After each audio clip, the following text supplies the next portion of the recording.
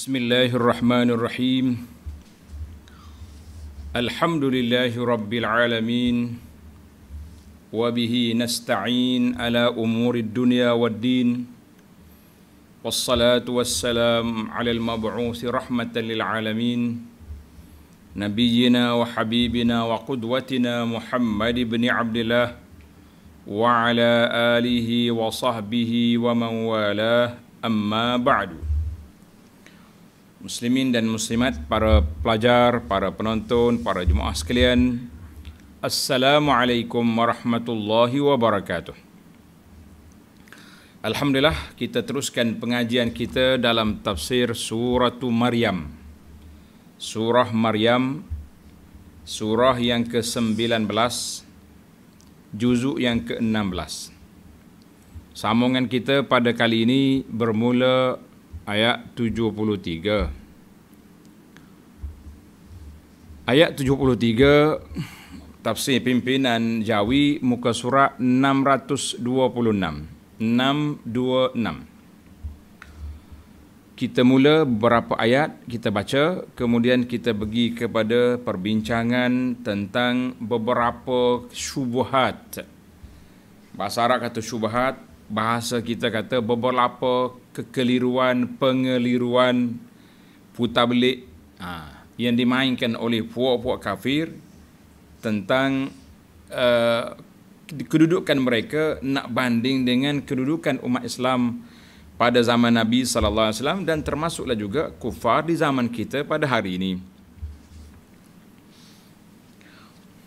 Baca ayat dulu. أعوذ بالله السميع العليم من الشيطان الرجيم.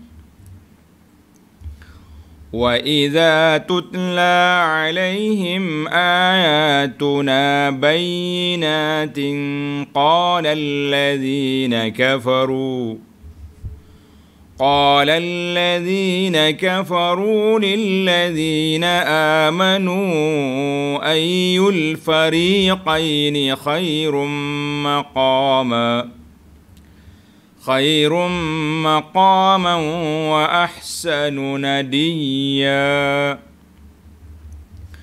وكم أهلكنا قبلهم من قرن هم أحسن أثاثا ورئيا قل من كان في الضلالة فليمدد له الرحمن مدا حتى إذا رأوا ما يوعدون إما العذاب وإما الساعة فسيعلمون من هو شر مكانا وأضعف جندا ويزيد الله الذين اهتدوا هدى والباقيات الصالحات خير عند ربك ثوابا وخير مردا Itu dia panggil syubuhat yang pertama yang diguna pakai oleh puak-puak kafir. Tengok terjemahan 73. Wa idza tutla alaihim ayatuna dan apabila dibacakan kepada mereka mereka tu siapa? Puak-puak kafir ayat-ayat kami yang jelas nyata. Bila dibaca kepada puak kafir ni ayat-ayat Allah Taala yang jelas lagi nyata baca ayat Quran apa jadi? Berkatalah orang-orang yang kafir kepada orang yang beriman. Ha, dia orang kafir respon. Dipanggil bahasa kita sekarang ni dia panggil respon dia kata apa? Puak manakah dari kami dan kamu yang lebih baik tempat tinggalnya dan lebih elok majlis perkumpulannya? Ha. Ini dia panggil syubhat. Syubhat yang pertama, dia orang condemn Islam dari sudut kedudukan kehebatan dunia. Dari sudut kehebatan dunia. Tengok nota di bawah. Panjang nota dia. 833. Ia'ni tetap, tetap kala kaum kafir musyrik tidak dapat menolak kebenaran hujah yang terkandung dalam ayat-ayat Allah yang dibacakan kepada mereka kan mereka sudah pun mengingkari kebangkitan. Dia bawa mari tulang yang reput mari hancurkan depan Nabi sallallahu alaihi wasallam. Kemudian macam-macam dia punya kerana, kerana cerita dia tak boleh nak, nak jawab kita punya hujah maka dia guna hujah kedudukan yang baik di atas dunia. Guna hujah kedudukan yang baik di atas dunia. Dia kata atas dunia ni kita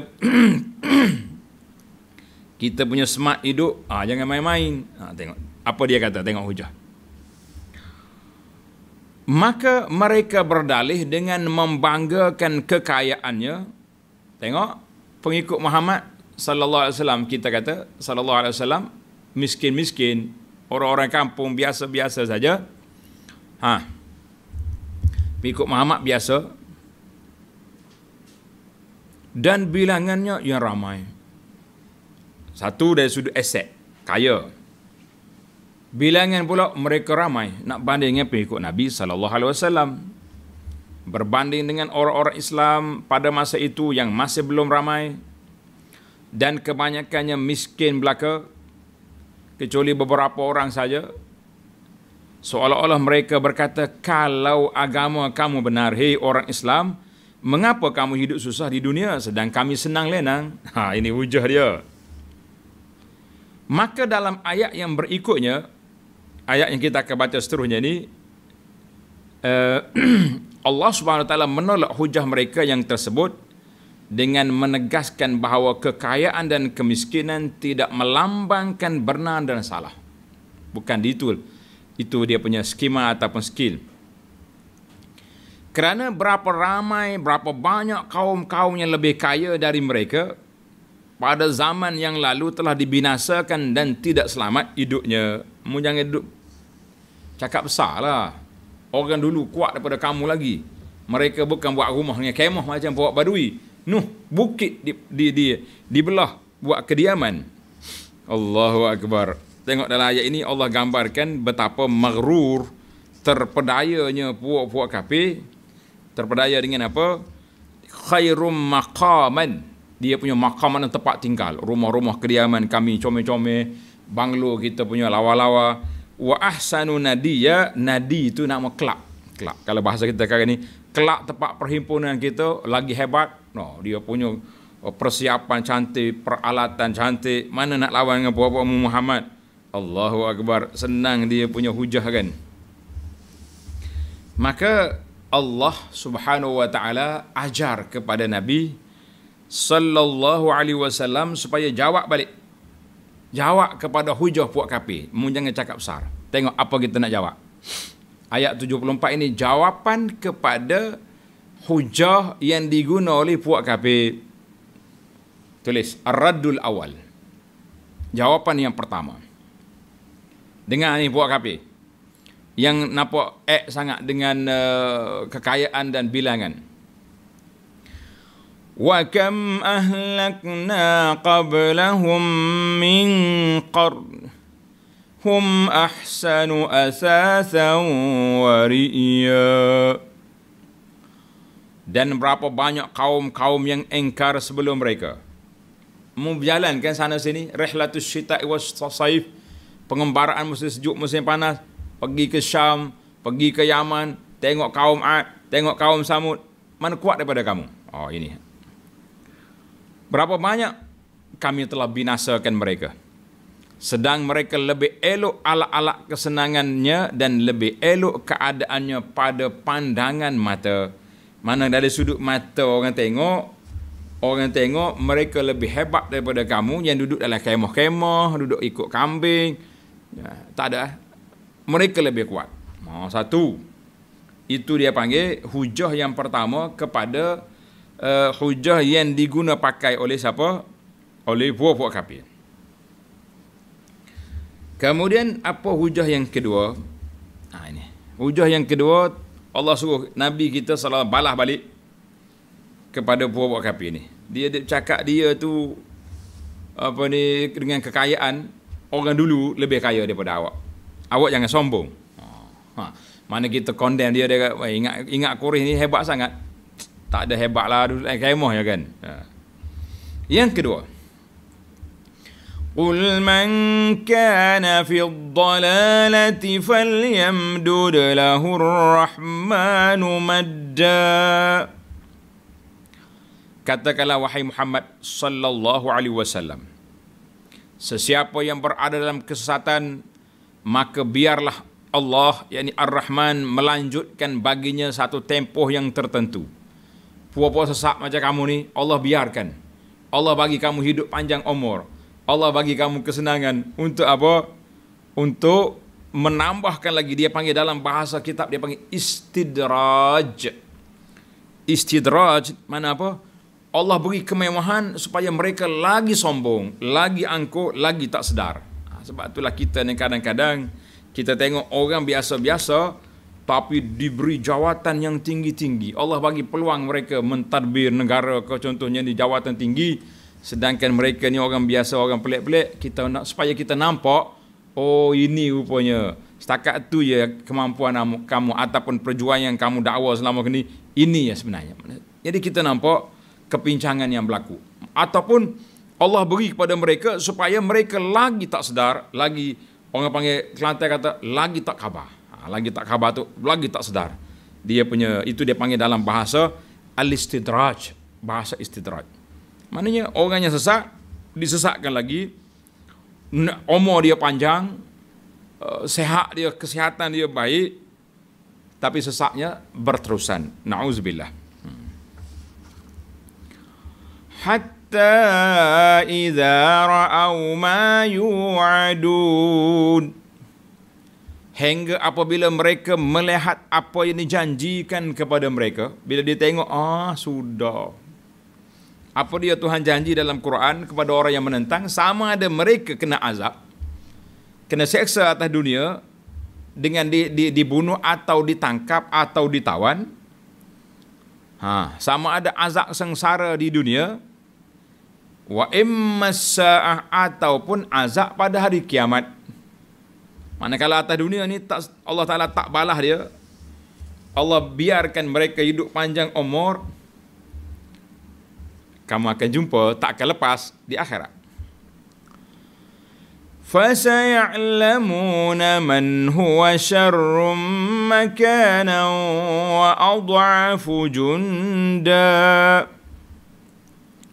maka pada saat itu sama ada saat turunnya azab atau saat berlakunya kiamat kiamat yang seorang individu waktu mati kiamat secara global kiamat sungguhlah yang kita duk tunggu tak, belum sampai masa lagi ni maka pada saat itu mereka akan mengetahui siapa ke orangnya yang lebih buruk kedudukannya dan lebih lemah penyokongnya ha, kamu akan tahu siapa mereka dan apa keadaan mereka sekarang ni kamu relax ya Orang panggil relax ya bro, bahasa budak-budak sekarang ni. Maka kata di Syekh uh, Syangkiti mengatakan makna ayat ini ada dua makna. Dua dua wajah. Yang pertama Allah SWT mengarahkan Nabi sallallahu alaihi wasallam supaya kata man kana fi dhalalati siapa dia sesat tunggu satu masa kita akan tengok, jadi ayat ini macam uh, mubahalah, macam satu perdebatan, satu cabaran kepada puak kafir. Mau tunggulah, akan sampai masa tu. Nah, itu satu. Yang kedua, falyamdud tunggulah. Ayat ini menunjukkan kepada khabar cerita an sunnatillahi fi dhalin bahawa apa yang Allah Taala telah lakukan kepada golongan-golongan yang sesat. Mana sama ada dia ambil tindakan segera ataupun imhal diberi tempoh. Karena itu dalam hadis Nabi wasallam mengatakan innallaha la yumli lizalim. Allah Taala beri tempoh kepada orang zalim. Mudah-mudahan mereka insaf, mudah-mudahan mereka bertaubat. Tapi fa iza iza akhazahu lam yuflitu bila Allah Taala ambil tindakan mereka tak akan lepas. Itu dipanggil kaedah. Allahu Akbar. Apa jadi? Tengok akhir ayat. Tuhan kata apa? Fasaya'lamuna man huwa syarrum makanan wa ad'afu junda. Sama ada waktu turun azab. Contohnya Abu Jahal dengan geng-geng dia berdepan dengan Nabi dalam peperangan Badar. Apa sudah jadi? Seorang, seorang, seorang dibunuh dan ditangkap 70 orang, 70 sudah mati. Dia tengok. Ketika itu mereka nampak, ah sudah Islam ni betul. Ataupun mereka nak mati. Dan paling lewat, kita tunggu sampai saat kiamat. Nah, tu kita panggil kemuncak lah tu. Sampai kiamat sudah tamat tempoh dia. Kita kata tamatlah kita di situ. Baiklah para jemaah sekalian. Dalam hadis uh, Nabi sallallahu alaihi wasallam ataupun daripada kata-kata sahabat. Ulama khilaf di sini tentang marfu mauquf. Ramai yang mengatakan kata-kata ini daripada sahabat Abdullah bin Mas'ud. Daripada siapa? Abdullah bin Mas'ud radhiyallahu anhu dia menceritakan dia kata hadis ini di antara marfu' dengan mauquf tapi ramai ulama kata mauquf mana mauquf tu sahih daripada kata-kata sahabat. Dia kata inna Allah qasama bainakum akhlaqakum kama qasama bainakum arzaqakum. Allah Ta'ala bagi kepada kita ni akhlak kita sebagaimana dia beri kepada kita rezeki. Mana berbeza-beza. Ada orang yang akhlak dia bercakap lembut. Ada orang akhlaknya eh, biasa-biasa bercakap. Tapi dari segi infak, pemurah. Maknanya berbeza-bezalah kita punya kebaikan. Sebagaimana rezeki kita berbeza. Wa inna Allah Ta'ala yu'til mala man ahabba wa man lam yuhib. Allah Ta'ala beri harta ini kepada siapa saja. Orang yang dia sayang, dia suka, tak suka, Allah beri. Pasal itulah kita jangan tengok orang kaya itu mana Tuhan sayang. Orang pakak besar itu Tuhan sayang. Belum tentu. Wala yu'til imana illa man yuhib.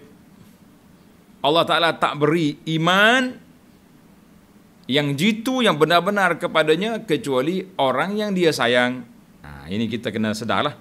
Mana kalau kita dapat iman, kita bersyukur kepada Allah SWT kerana kita termasuk di kalangan orang yang disayangi oleh Allah Azza wa Jalla. Baik hadis ini eh, ataupun asal ini keluar oleh uh, Al-Imam Al-Bukhari dalam Al-Adabul Mufrad. Jadi para ulama hadis mengatakan hadis ini marfu' sahih uh, maaf mauquf kepada Ibnu Abbas.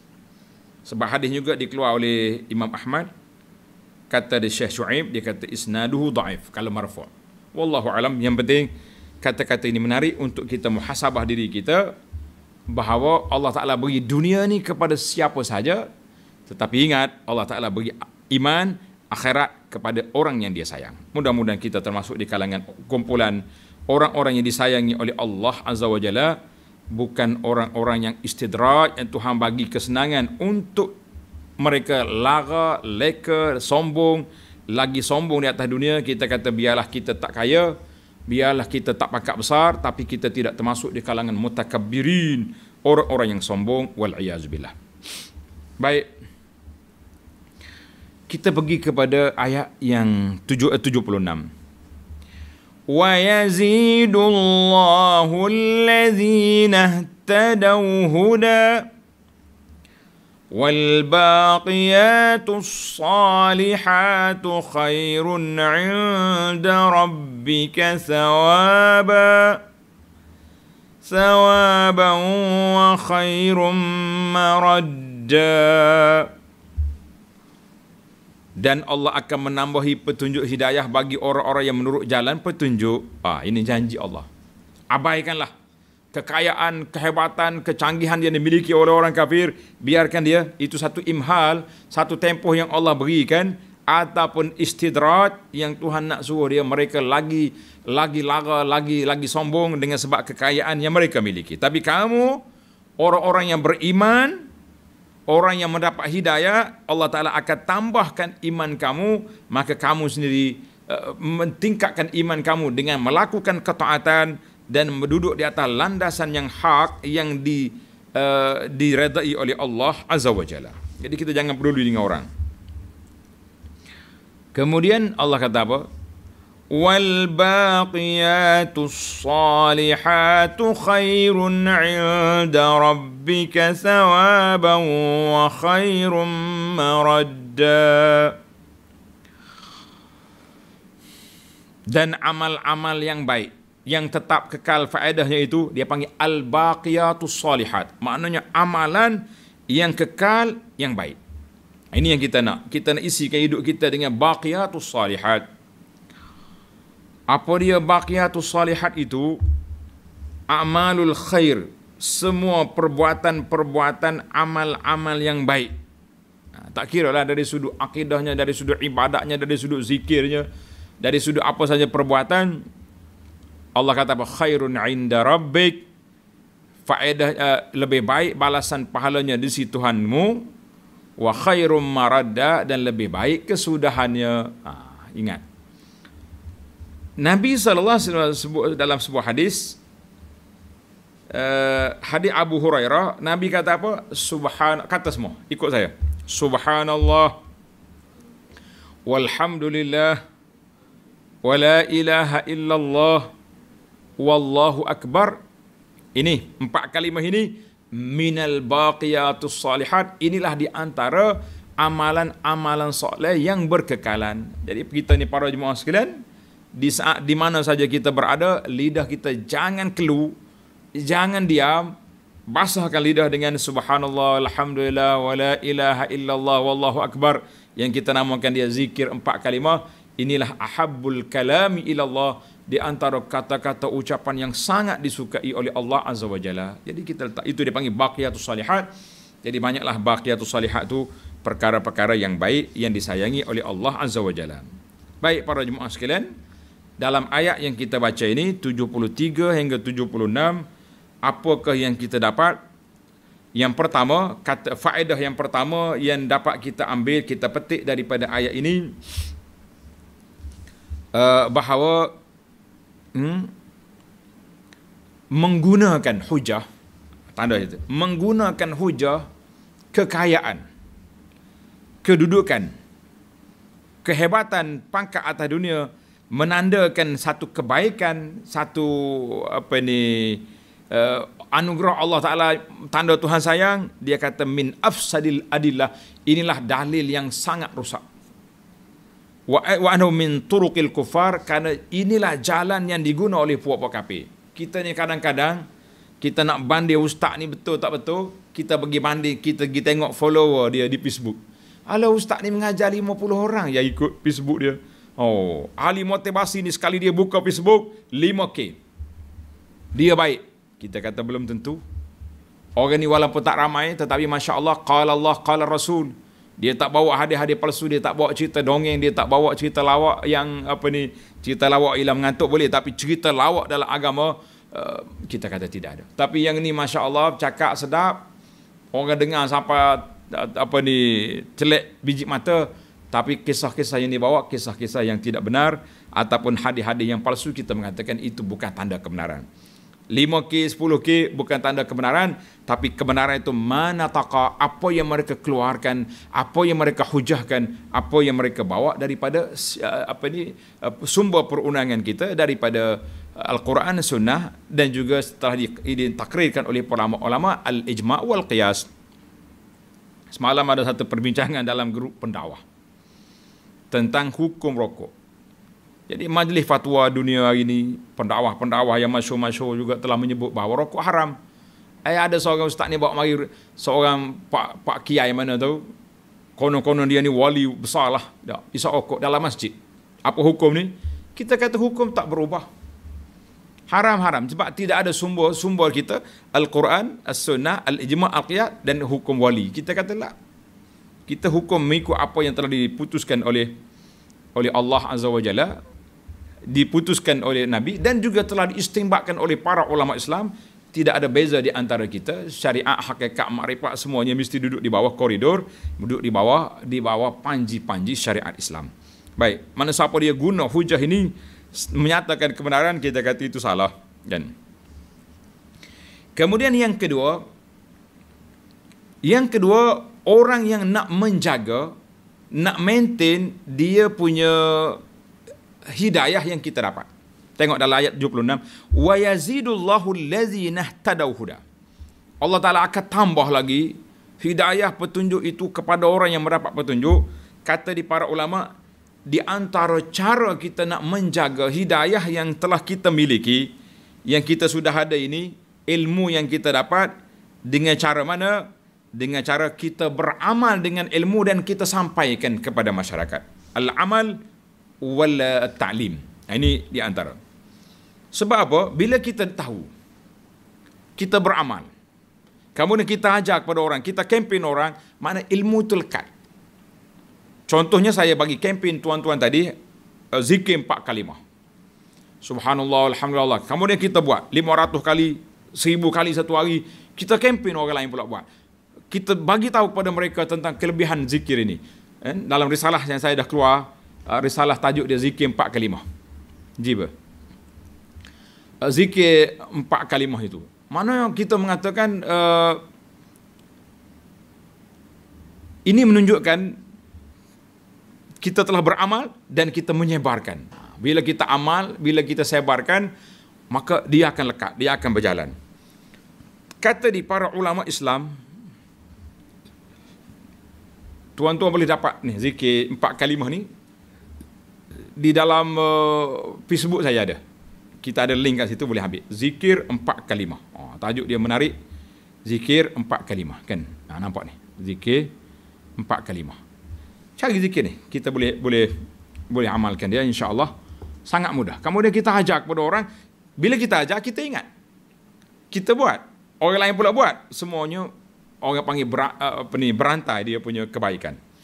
Tulis kata-kata ulama. Apa dia kata? Man amila bima alim. Siapa beramal dengan apa yang dia tahu. Au rasahullahu ilma ma lam ya'lam. Allah Taala akan beri kepada dia ilmu yang dia tak tahu. Allahu akbar itu kata kata di para ulama. Siapa beramal dengan apa yang dia sudah tahu kita akan dapat pula yang kita tahu. Mana Allah Taala beri hidayah Allah Taala buka pintu rahmat dia. Kemudian uh, kata di para ulama lain pula sawabul hasanati al hasanatu ba'daha. Pahala kebaikan kita bawa benda baik ni kita akan dapat kebaikan yang lain. masya-Allah tabarakallah. Dalil dianya walladzina tadaw zadahum huda wa atahum taqwahum. Surah Muhammad ayat 17 orang yang dapat petunjuk mereka beramal dengan petunjuk itu Allah Taala tambahkan ketakwaan. Jadi ini menunjukkan bahawa betapa pentingnya kedudukan yang kita ada. Maka para ulama mengatakan ayat ini menjadi hujah ke atas golongan Mu'tazilah dan Qadariyah. Yang mengatakan bahawa af'alul ibad perbuatan makhluk ni kita sendiri buat Allah Taala tak ada campur-campur tangan dalam masalah ini. Kita kata semua tu Allah Taala cuma kita sebagai pelaksana itu dia panggil hujah ke atas golongan Qadariyah dan Mu'tazilah. Wa yazirullahu allazina ihtadaw huda. Ayat ini hujah ke atas golongan al-murjiah. Yang mengatakan iman itu sama saja. Bagi kita ahlus sunnah iman bertambah dan berkurang. Yazidu wa yanqus bila kita mantapkan iman kita kita kuatkan takwa kita kuat amalan iman bertambah bila kita lemah lesu tak bermaya tak uh, tidak beramal ketika itu iman akan jadi lemah Maka ini ahlu sunnah mengatakan iman yazidu wa yanqus. Mu'tazilah kata apa? Eh, maaf, al-murji'ah kata tak ada. Iman itu sama ya.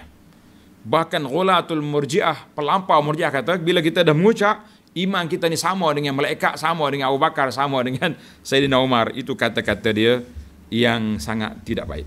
Baiklah para jemaah sekalian, itu dua tiga perkara yang dapat kita petik daripada ayat yang 73 hingga 76. InsyaAllah kita sambung lagi ayat yang ke-77. Ini hujah seterusnya yang digunakan oleh puak kafir. Oh, tadi dia guna hujah kekayaan dengan kedudukan. Sekarang ini dia guna pula apa benda.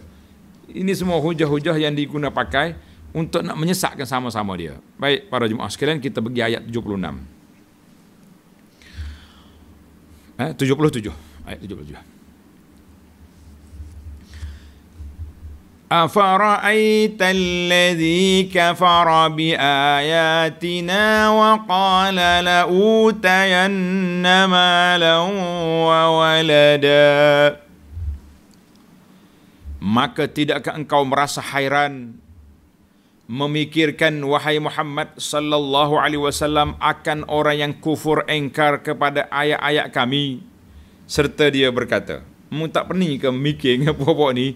Nah, Oh, dia kata apabila dia nak lawan Nabi, dia bukan pergi lawan dengan hujah. Dia bukan pergi lawan dengan uh, dengan apa ni oh, dalil-dalil yang bukti-bukti yang hebat, tapi dia guna hujah fizikal. Dia kata apa? Muhammad, demi sesungguhnya aku akan diberikan harta kekayaan dan anak pinak pada hari akhirat kelak. Oh, dia perli, dia panggil ayat ni ayat perli. Tengok nota di bawah.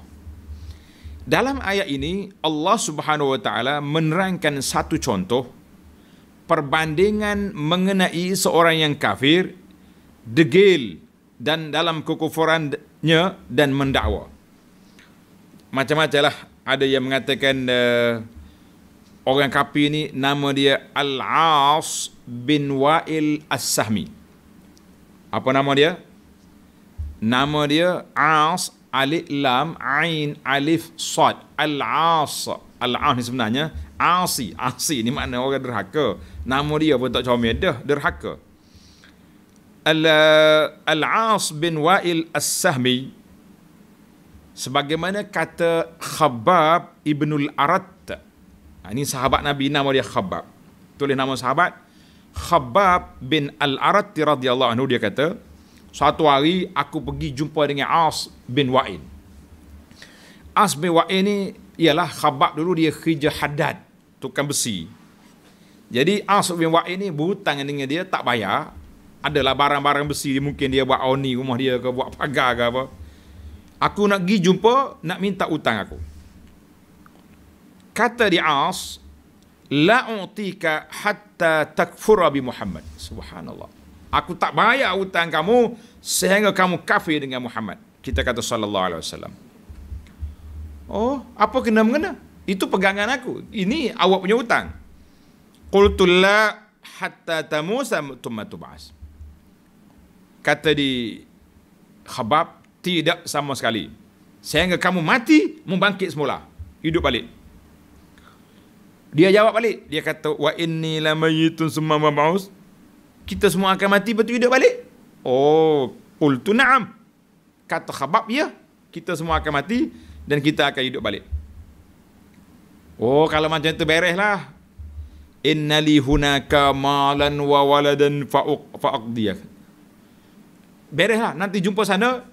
Aku bawa harta banyak, aku bawa anak ramai, aku bayar hutang kat sana lah. Nanti hidup balik lah. Oh, mana dia mana dia bukan nak beriman, dia perli balik kepada khabab. Dia kata, gini lah, hutang aku tu aku bayar kat sana lah. Nanti hidup semula. Fanazalat hadhil ayah. Maka Allah Ta'ala turunkan ayat ini. Ayat afara'aital ladhi kafara bi ayatina wa qala la utayanna malam wa walada. Allahu Akbar. Hadis ini dalam Bukhari dan Muslim. Maka Allah Ta'ala buat contoh perbandingan kekufuran dengan orang yang mendakwa dengan tidak berasas bahawa walaupun dia tetap kafir tetapi dia juga akan mendapat kesenangan di akhirat, harta benda banyak dan anak pinak yang ramai jadi dia nak bayar hutang khabab di akhirat. Kita kata ini satu lagi syubhat yang dimanya oleh puak kafir. Dia kata kalau betul hidup balik, kita hidup balik semua sekali dengan harta aku, dengan pengikut aku. Mu hidup balik dalam keadaan miskin. Allahu Akbar. Ih, dia punya apa ni permainan syubhat ni tinggi kan. Baik. Kita tengok lagi kepada ayat 78. Attala'al ghaiba am ittakhadha 'inda ar-rahmani 'ahda. Adakah ia telah mengetahui akan perkara yang gaib? Tuhan tanya. Puak kafir yang bercakap tadi, sombong-sombong, ek tu, adakah dia mengetahui perkara gaib mana perkara ilmu tentang akhirat atau adakah dia telah membuat perjanjian dengan Allah Azza wa Jalla mengenainya dia janji dengan Tuhan ke Tuhan kata nak bagi tempo kepada dia nak bagi tempat duduk yang selesa di akhirat esok dia nak sampai dia boleh nak boleh dia nak bayar hutang kamu balik eh cakap besar buat kapi ni kan hmm. Itu satu lontaran uh, bahasa perdebatan. Mu tahu? Tak ada. Sanaktubu ma yaqulu wa namuddu lahu minal azabi madda. Tidak sekali-kali. Yakni tidak benar dan tidak sepatutnya dia mendakwa demikian. Kono-kononya dia ni. Di akhirat esok dia akan senang dia akan hidup macam orang lain juga. Jakat biar betul. Eh main-main buat kapi ni kan. Kami akan menulis apa yang dikatakannya dan kami akan tambahi baginya dari azab seksa berganda-ganda apa yang mendakwa kamu perli kamu main-main atas dunia ini semuanya ditulis dicatat oleh para malaikat mana malaikat akan tulis kemudian kita akan dakwa di akhirat esok apa yang kamu cakap ini. Ah, mu jangan jangan cakap salah. Di akhirat esok kamu akan jumpa apa yang kamu kata ini kamu akan bertanggungjawab. Allahu akbar. Wa namuddunahu minal azabi madda dan kami akan tambahi baginya dari azab seksa yang berganda-ganda. Azab tu berganda buat eh azab kufur itu satu azab. Tapi azab dia perli, azab dia hina Islam, azab dia mempermain-mainkan, itu azab lain pula. Azab dia buat benda maksiat, kita kata itu tambahan lain pula, wal, wal billah. Kita minta berlindung dengan Allah Azza wa Jalla. Tengok ayat 80. Wa narithuhu ma yaqulu wa ya'tina farda dan kami akan warisi harta benda dan anak penak yang dikatakan itu. Ha, semua yang dia cakap-cakap itu, yakni kami mewarisi dengan mana naslubu ma lahu wa waladhu fid dunya bimautihi. Allah kata aku ambil balik harta benda mu tu dengan sebab dia sudah mati. Dia sudah kena dia mati, anak-anak dia kena tawan. Contohnya dalam peperangan Badar mereka telah ditawan. Harta benda dia telah dirampas. Ah, dan dia akan datang kepada kami dengan seorang diri maknanya orang semua manusia ni berjalan berjumpa Allah Ta'ala seorang diri tidak diiringi oleh sesiapa tengok ayat 836 yakni segala harta benda dan anak pinak yang kami berikan kepadanya di dunia dulu akan lenyap sama ada hilang, mati, kena tawan, kena tangkap, kena rampas dan ia akan datang kepada kami pada hari akhirat dengan sebatang karah yakni terputus dari segala-galanya dan hampalah dia dari mendapat pertolongan. Dia doa anak dia ramai ke harta, dia banyak. Ini boleh membantu kehidupan dia. Tuhan kata la wa yatina farda mereka akan datang seorang diri. Tak sedut cakap banyak. Ayat 81. واتخذوا من دون الله آلهة ليكونوا لَهُمْ عزا. Dan mereka yang kafir menyembah benda-benda yang lain dari Allah sebagai Tuhan-Tuhan. Supaya benda-benda yang mereka sembah itu menjadi penolong-penolong yang memberi kemuliaan dan pengaruh kepada mereka itu anggapan mereka. Itu anggapan mereka konon-kononnya apa yang mereka lakukan itu akan memberi pulangan yang baik kepada dia akan memberi pulangan yang baik kepada dia memberi pertolongan kepada mereka di akhirat apa jadi Allah jawab Tengok 82. Kalla sayakfuruna bi'ibadatihim wa yakununa alaihim didda. Kalla tidak sekali-kali. Bahkan benda-benda yang mereka pertuhankan itu mengengkari perbuatan mereka sembah. Berhala pun tak mengaku. Siapa suruh sembah aku? Siapa suruh lukis aku? Siapa suruh ukir? Marah pula berhala dan akan menjadi musuh yang membawa kehinaan kepada mereka. Tengok nota di bawah 837. Dalam ayat ini Allah Subhanahu wa taala menceritakan perihal orang-orang kafir secara umum yakni berhala-berhala atau makhluk-makhluk yang mereka sembah itu yang diharapkan memberi pertolongan akan menentang mereka pada hari akhirat kelak dan tidak mengakui perbuatan mereka menyembahnya kerana Allah jualah yang berhak disembah. Siapa suruh kau sembah aku? Benda-benda itu dengan kuasa Allah dapat berkata-kata pada hari akhirat untuk menyalahkan perbuatan orang-orang yang menyembahnya. Bahkan dia berlawan pula sama dia. Eh, siapa suruh sembah aku? Siapa suruh? Oh, Masya Allah, tabarakallah. Baik, kita pergi kepada ayat uh, 83. ألم تر أنا أرسلنا الشياطين على الكافرين تهزهم أزا Tidakkah engkau mengetahui wahai Muhammad sallallahu alaihi wasallam bahawa kami telah menghantarkan syaitan-syaitan kepada orang-orang kafir untuk menggalakkan mereka mengerjakan perbuatan kufur dan maksiat dengan bersungguh-sungguh. Jadi Allah Taala letak sini siapa yang buat maksiat, siapa yang kufur, siapa yang buat maksiat bermakna mereka itu telah dikuasai oleh siapa? Oleh puak-puak kafir. Nah, siapa, eh, maaf, dikuasai oleh syaitan. Jadi syaitan akan menguasai siapa? Yang pertama golongan kafir, yang kedua orang-orang yang beriman tapi terjebak dengan maksiat, maka ini juga termasuk di kalangan orang yang dikuasai oleh syaitan. Wal billah. Jadi kita jangan ikut syaitan, jangan ikut apa ni perbuatan-perbuatan yang sangat dahsyat itu. Maka Nabi kata apa? Ayat ini ayat yang terakhir dalam siri kita ini. Fala ta'jal 'alaihim إنما نعد لهم عدا Oleh itu, janganlah engkau bersegera marah terhadap mereka yang engkar itu kerana sesungguhnya kami hanya menghitung hari-hari yang sedikit saja bilangan untuk mereka. Jadi dakwahlah mereka, usahlah dilayan sangat kerana mereka. Kenapa? Tengok ayat nota 838 yakni golongan yang kafir yang tenggelam dalam kekufuran dan maksiat adalah disebabkan mereka telah dipengaruhi oleh hasutan syaitan-syaitan dan galakkannya, godaannya yang tidak putus-putus. Maknanya orang sama ada dia tu kafir terus ataupun dia asi di kalangan orang yang derhaka, maka orang itu semuanya terperangkap dengan godaan syaitan. Oleh itu, janganlah dirisaukan hal mereka. Jadi Nabi sallallahu alaihi wasallam ni sifat dia harisun alaikum bil mu'minina raufur rahim. Nabi kita sangat-sangat susah hati dia terhadap golongan yang menentang golongan yang tak yang tak tak dengar.